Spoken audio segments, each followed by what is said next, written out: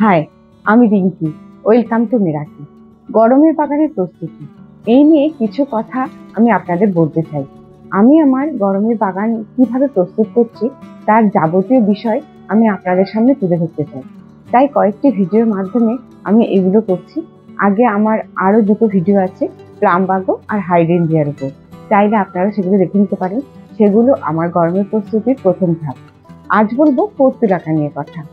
পর্তুলাকা গরমের ভীষণ সুন্দর ফুল। সূর্যি মামার প্রখর রোদ সহ্য করে হাসি মুখে আমাদের বাগান আলো করতে এর জুড়ি মেলা ভার। তাই আমাদের গরমের বাগান বিভিন্ন রং বেরঙের মেলা বসাতে পর্তুলাকা কিন্তু আমাদের গরমে করতেই হবে। আজ আমি পর্তুলাকা নিয়েই কথা বলব। আমি পর্তুলাকাগুলোকে শীতে কীভাবে রেখেছিলাম এবং এখনই বা পর্তুলাকাতে আমি কি করব আর পর্তুলাকার কি সয়নিক আমি ব্যবহার করি এবং পর্তুলাকাগুলোকে গরমের জন্য কীভাবে প্রস্তুত করব সবই আপনাদের সঙ্গে শেয়ার করব? তো চলুন শুরু করি। আমার কাছে বেশ কয়েকটি প্রজাতির পর্তুলাকা ও পার্সলিন আছে। শীতকালটা যেহেতু এদের ডরমেন্সি তাই এদের একটু আলাদা করেই আমি রেখে দিয়েছিলাম। দেখুন ডরমেন্সিতে গাছগুলোর কেমন অবস্থা হয়েছে। দেখে মনে হচ্ছে যেন মরে যাবে। কিন্তু আদেও নয়। এখন যখন এদের আবার নতুন করে পরিচর্যা করব, তখন পুরো গাছ আবার সবুজ হয়ে যাবে আবার এই গাছগুলোতে প্রচুর ফুল হবে।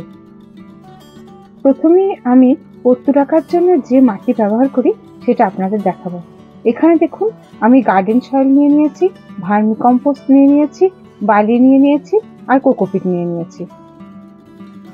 এখানে আমি এই উপাদানগুলো যে অনুপাতে নিয়েছি, সেটা হলো চল্লিশ ভাগ গার্ডেন সয়েল পঁচিশ ভাগ কোকোপিট, দশ ভাগ বালি, আর পঁচিশ ভাগ ভার্মি কম্পোস্ট আমি আমার প্রায় সব ভিডিওতেই আপনাদের বলি যে মাটি সবসময় ওয়েল ড্রেন বানাবেন, তাহলে রুট রটের সমস্যা থাকবে না।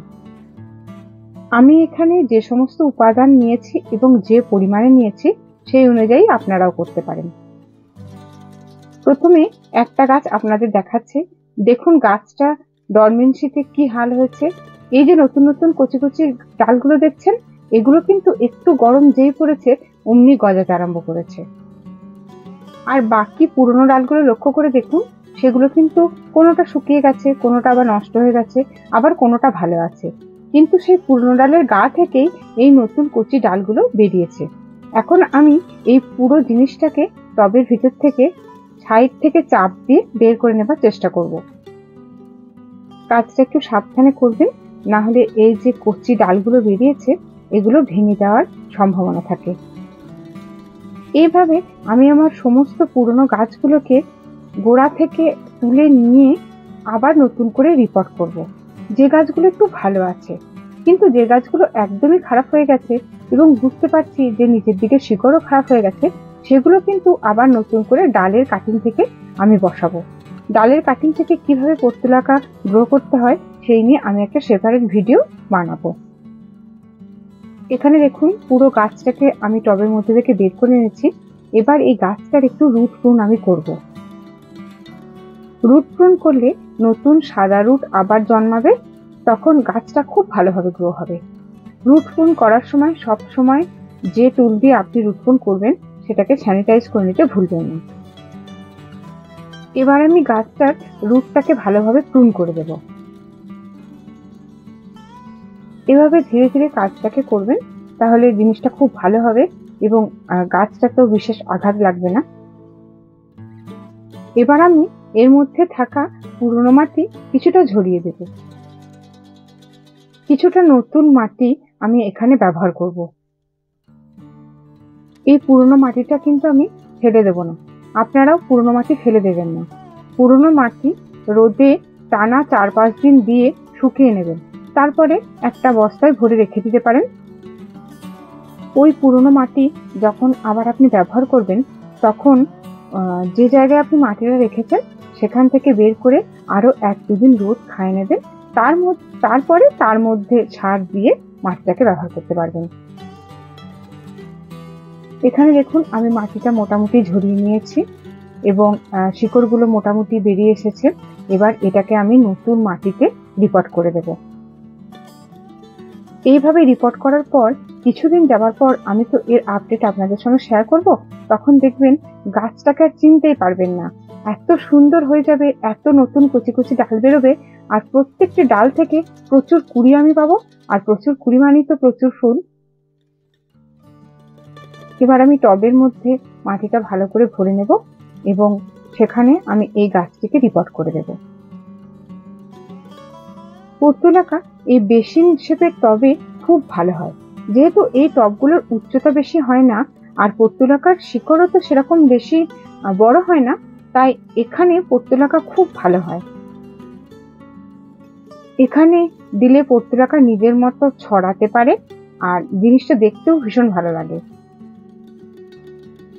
এবার এর মধ্যে আমি ভালো মতো মাটি ভরে দেবো চারিদিকটা, যাতে কোনো রকমের কোনো এয়ার গ্যাপ না থাকে। পর্তুলাকা বড় করা কিন্তু খুবই সোজা এবং পর্তুলাকা থেকে আমরা প্রচুর পরিমাণে এই গরমে ফুল পেতে পারি যদি একটু দেখাশোনা করি। শুধু যখন বর্ষায় ভীষণ বৃষ্টি হয়, তা না ধরুন তিন চার দিন ধরে বৃষ্টি হচ্ছে, তখন একটু খেয়াল রাখার দরকার হয় যাতে কোনো রকমের জল না জমে থাকে টবের মধ্যে তাহলে কিন্তু পর্তুলাকা পচে যায়।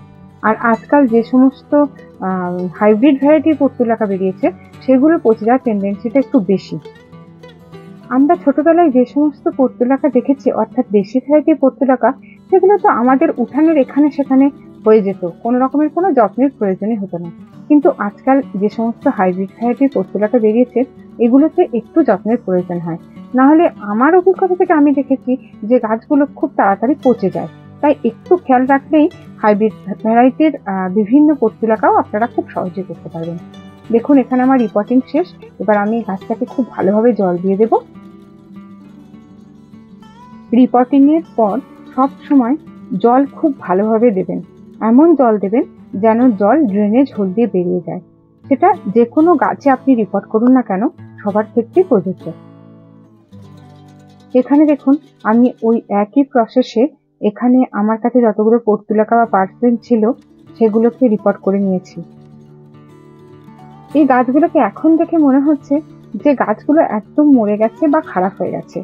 কিন্তু ঠিক পনেরো থেকে কুড়ি দিন পরে এদের আপডেট আমি আপনাদের দেব। তখন দেখবেন এই গাছগুলি কত সজীব সবুজ হয়ে গেছে আর কত নতুন নতুন ডাল বেরিয়েছে। আর সেই সমস্ত ডালে কুড়িও এসে গেছে।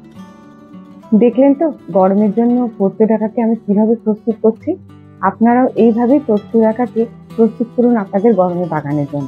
আজ এইটুকুই থাক, সাথে থাকবেন, সবুজ থাকবেন।